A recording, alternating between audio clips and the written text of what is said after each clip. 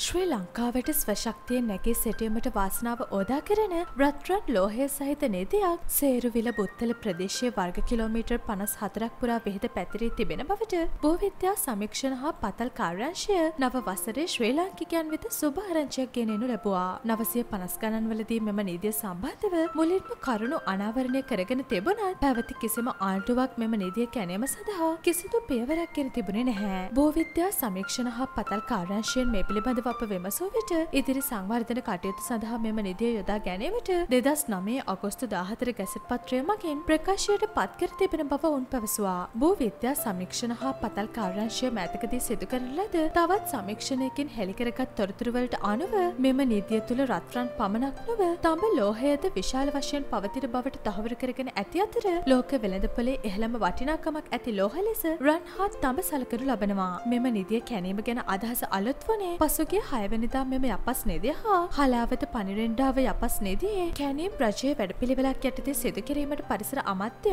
මහින්ද අමරවීර හා කර්මාන්ත ඇමති විමල් වීරවංශ මහත්වරුන් අතර පරිසර අමත්‍යංශ ශ්‍රවනාකාරයේදී පැවති සාකච්ඡාව අතරතුරයි. මෙරට කනිජ සම්පත්වලින් උපරිම ප්‍රයෝජන ගනිමින් රටේ ජාතික ආදායම උපරිම වර්ධනය කර ගැනීම සඳහා පරිසර අමත්‍යංශය හා කර්මාන්ත අමත්‍යංශය ඒකාබද්ධ වැඩසටහනක් ක්‍රියාත්මක කිරීමට මේ සක්කච්ඡාවේදී තීරණය වුණා. බුත්තල කුරම්ප කළ යපස් නිදිය සහ හලාවත පනිරෙන්ඩාව යපස් නිදිය කැනෙම් කටයුතු කර්මාන්ත අමත්‍යංශය යටතේ සිදු කිරීමට පැවති සාකච්ඡාවට විමල් වේරවංශ මහින්ද අමරවීර යන ඇමතිවරද එම අමත්‍යංශවල ලේකම්වරුන් වන අනුෂ පැල්පිට හා විශේෂඥ වෛද්‍ය අනිල් ජාසිංහ භූවිද්‍යා සමීක්ෂණ හා පතල් කාර්යංශයේ සභාපති අනුර වල්පොල යන මහත්වෘත සහභාගී වුණා. පනිරෙන්ඩාව යපස් නිදිය වර්ග කිලෝමීටර් විසිහයක් පමණ වන බවත් අවම වශයෙන් යකඩ ටොන් මිලියන එකසිය අසු හයක් පමණ එහි තැන්පත් වී ඇති බවත් එම කාර්යංශයේ නිලධාරීන් මෙහිදී ඇමතිවරුන් දෙපළට පෙන්වා දී තිබුණා. ජනාධිපතිවරයාගේ උපදෙස් පරිදි khනිජ සම්පත් සමස්තයක් වශයෙන් රටේ අභිවෘද්ධිය සඳහා යොදා ගැනීමට හැකි සෑම සහයෝගයක්ම ලබා දීමට තම අමාත්‍යංශය සෝදානම් බවද පැවසූ පරිසර ඇමති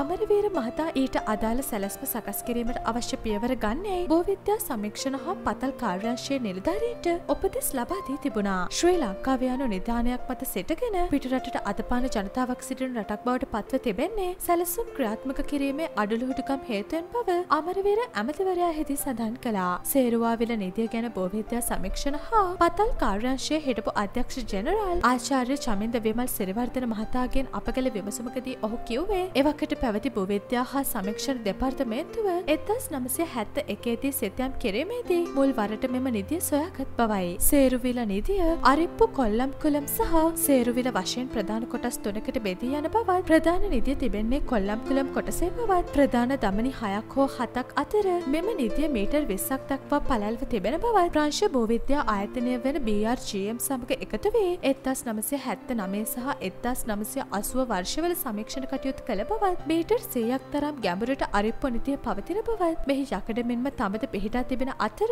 තඹ තිබෙන ප්‍රදේශයේ රත්රන්ද තිබෙන බවත් ආර්යවංශ සිරිවර්ධන මහතා පැවසවා. මෙම නීතියේ කළ පරීක්ෂණවලදී ලබාගත් සම්පල යක්කල පිහිටි බෝවිද්‍යා සමීක්ෂණ හා පතල් කාර්යංශයේ පරීක්ෂණාගාරයේදී කළ පරීක්ෂණවලදී මෙම නිදිය රත්රන් තිබෙන බවට අනාවරණය කරගත් බවද සිරවර්ධන මහතා වැඩිදුරටත් සඳහන් කර සිටියා. පර්යේෂණ සඳහා අලුත්ම ක්‍රම යොදා ගැනීමෙන් මෙහි ඇති කනිජ සම්පත් ගැන පුළුල් තොරතුරු අනාවරණය කර ගැනීමට මෙන්ම මෙහි වටිනාකම කොතෙක්දයි ඇස්තමේන්තු කරගත හැකි වෙතයි ආචාර්ය සිරිවර්ධන මහතා වැඩිදුරටත් කරුණු අනාවරණය කළා. සංවිධාන වීඩියස් බලන් කැමතිනම් පහල තියෙන රතුපාට බට්නක බල අපිට සබස්ක්‍රයි කරන්න.